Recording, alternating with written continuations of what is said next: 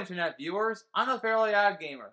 You know, it's not that easy talking about licensed franchises, especially ones that ultimately get turned into video games. And surprisingly, I've rarely talked about a game that's based on a toy franchise.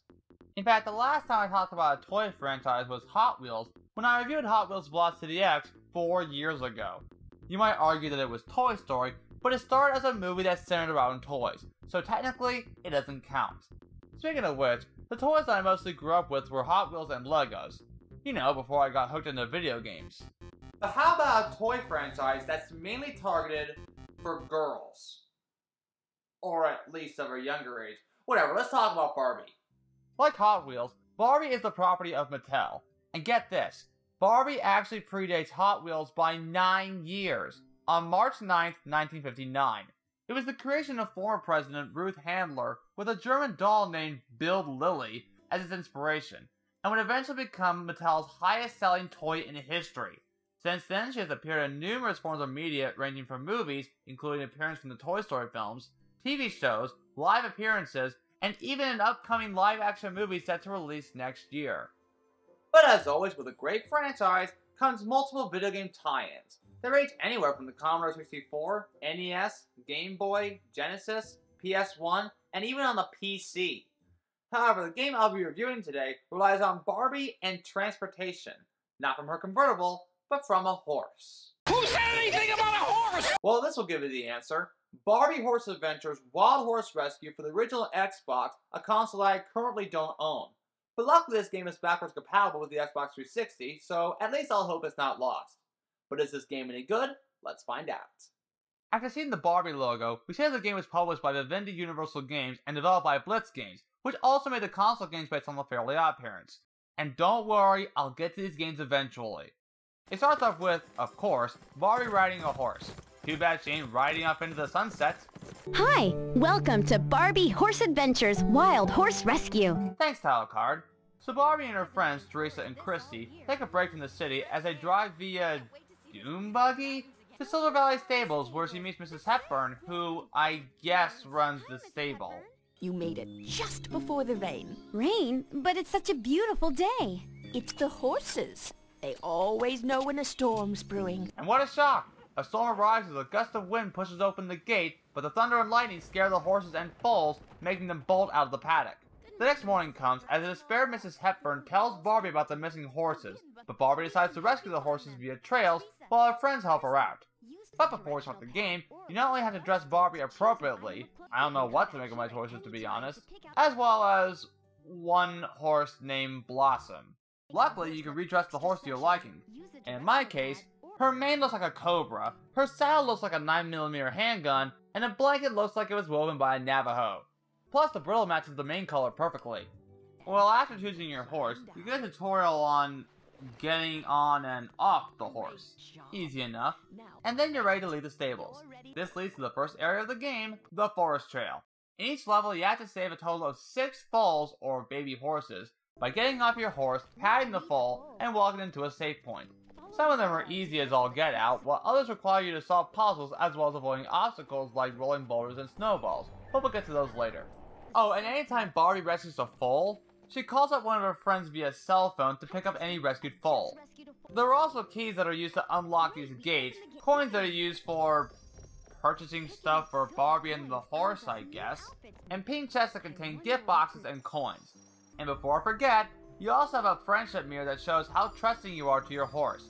You can raise it by petting your horse or feeding it carrots, but it can be lowered by running into animals like a porcupine or a skunk, and or getting knocked off via a low log bridge. By the way, you can distract these animals by throwing fruit at them. Woodland creatures like to eat fruit apparently.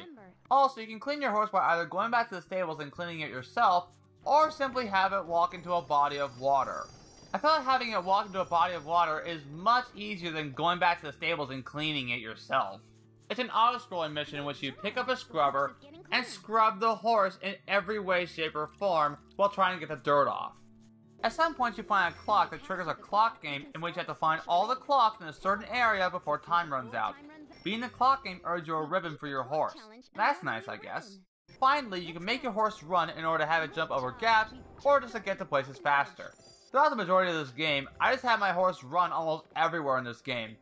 However, when Barbie is off her horse, she moves a bit too slow for me.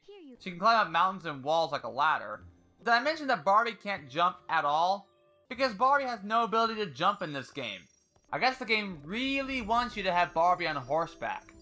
There are also one or two times in which you encounter a small pathway behind a waterfall, but you can't ride your horse through it. So therefore, you have to get off your horse and hold the horse's reins and guide your horse through that said pathway. At the end of each level, you find one of the missing horses. They can be retrieved in one of two methods, by getting close to the horse and lassoing it, or by racing one of your buddies riding a newly rescued horse, in three laps around a track. And by the way, the racing missions only happen in the second trail from each area. The level ends with a small cutscene as well as a selection screen in which you either continue to explore the trail or return to the stables. And that's about it because you pretty much do the same thing for the remaining 8 levels. Let's do some math here. There are 9 trails that Barbie has to go through. So with the missing horses at the end of each level, as well as the foals scattered around each level, that means you have to rescue a total of 63 horses in this game. Oh boy. Anyway, back to the game. The Snowy Mountains Trail has, of course, snow, as well as ice physics. Uh, but at least the ice cave in the third Snowy Mountain Trail looks pretty good. This area is filled with puzzles to solve, as well as foals to rescue. And this is why I found out that Barbie has to carry one item at a time. This I don't understand. Wouldn't it be easier to have Barbie carry more than one wooden plank? Apparently not. This leads to the final area of the game, Shoreline Trail. Even though your horse can run through the water depending on the water depth, it can't go too deep into the water. It's also where you need your horse to stir up these seagulls. Mine, mine, mine, mine, mine, mine, mine, mine, mine. Hey look, a beach level! Hey dude, did I hear you mention a beach? Why yes, Hux. Yes I did. That's awesome, dude! What does it have?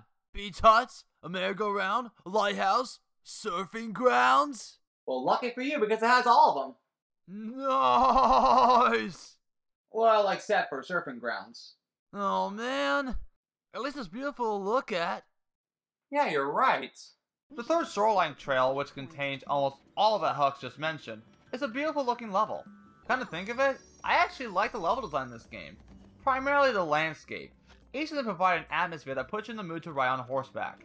And for a game like this, it actually works. Yeah, it does. Well, I just wanted to see what's up. Later, dude.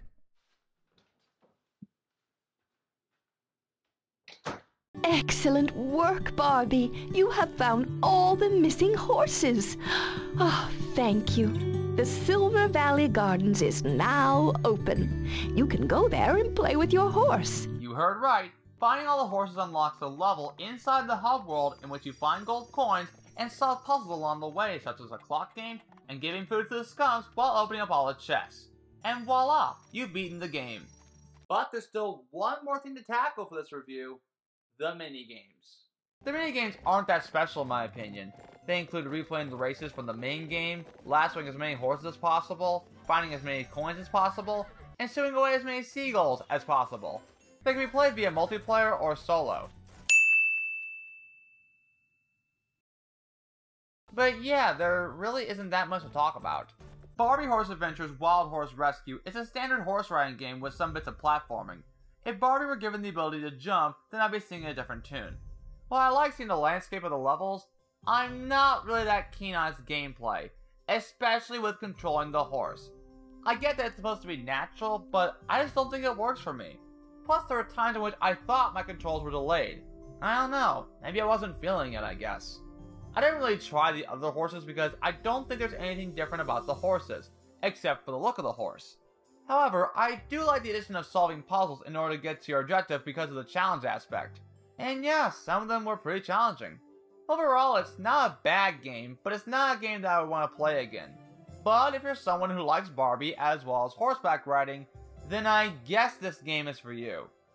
So the next time you talk about Barbie riding a horse and someone responds with, Who said anything about a horse? then make sure you tell that person this game to prove your point. And get ready for next month because I'll be reviewing games based on Top Gun. I'm the Fairly Odd Gamer, and I wish you all good luck the rest of your day or night, wherever you are. Take care, everyone. How's it going, dudes? Hux Gamer here. Be sure to subscribe and hit that bell icon if you want to get notified for upcoming videos. Well said, Hux.